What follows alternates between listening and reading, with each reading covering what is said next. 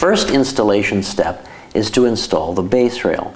But before you can do that, you need to know where the wall studs are, so you know where to drive the nails into something solid behind the drywall.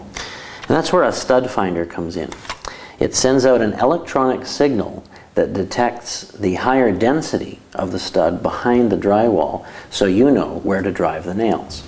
And this is how it works. You just simply turn it on, you hold it against the wall, and you slide it along oh, until the stud finder lets you know where a stud is. Different models operate differently. They might just have lights. They might, like this one, has lights uh, and a beeping sound.